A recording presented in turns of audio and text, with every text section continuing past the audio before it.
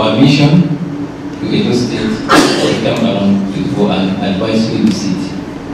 And this is equal to the request the board received from the state for an approval and recognition visit for technical colleges in the state. That is Government Science Technical College Benin, Government Science Technical College Afuze, Government Science Technical College Igarra, and Government Science Technical College Igua. Mm. At uh, Government Science College Benin, sir, we observe so a very gigantic classroom project, which commend you, sir, for that effort.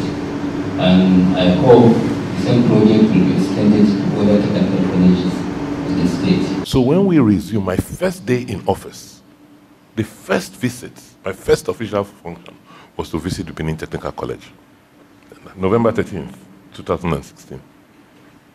I almost wept with what I saw there. Because as you know, that school was a gift from the Canadian government, and two of such institutions were granted in Africa. The other one is in Tanzania. I mean, it was, but we resolved that we were going to rebuild. And we're going to make sure that before the end of our first term in office, that we build, that rebuild that school into the world-class technical training college school it should be. Whatever curriculum we devise is one that must be able to put our people to work when they finish.